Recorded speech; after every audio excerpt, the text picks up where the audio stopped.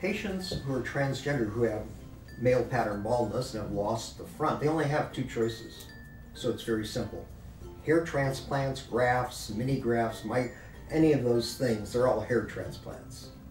Problem with those, they change texture, multiple sessions, takes a long time to get the result.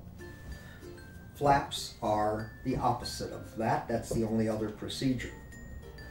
Because of what we had developed with the Fleming Mayer flap, we developed an irregular way to make an incision all the way across the hairline.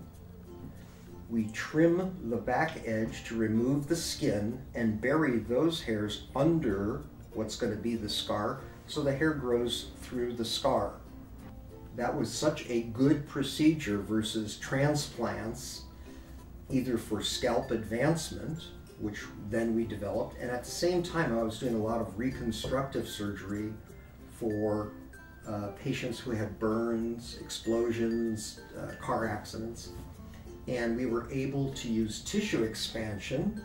If someone had enough hair in the center then we were able to put a balloon behind it blow it up over about eight to 10 weeks with salt water that their friends inject wherever they are in the world twice a week. And if they're in town, they come here and we inject it. And it slowly will raise and expand the scalp the way a pregnancy expands an abdomen. So it's behind here, the patient looks like they're wearing their hair in a bump if they have enough flexibility, I just advance the scalp, but otherwise I use the balloon. If it's all gone, we use the balloon on the side, blow it up, leave it hinged here, and then move it to the front. It works very, very well, and the hair never changes texture. You cannot do transplants and get that kind of density. The hair does not turn kinky like it does in transplants.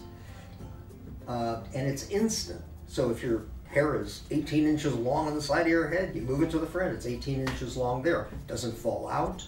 You don't have to wait for it to regrow. You don't have to have multiple sessions, which you do all of those things with transplants.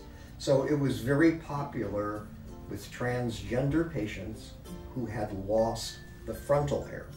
Once again, if they have the center, I just use a balloon, move it forward.